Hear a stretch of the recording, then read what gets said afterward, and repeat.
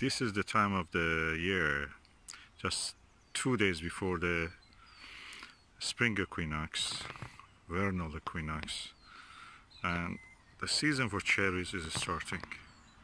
Let's see what the cherries are doing.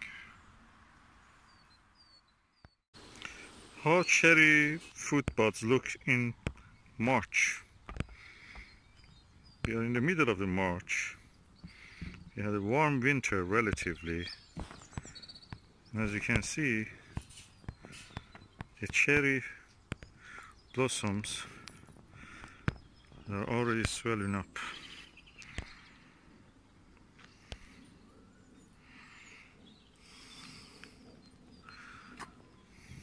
got some damage because of the storm but overall they're doing alright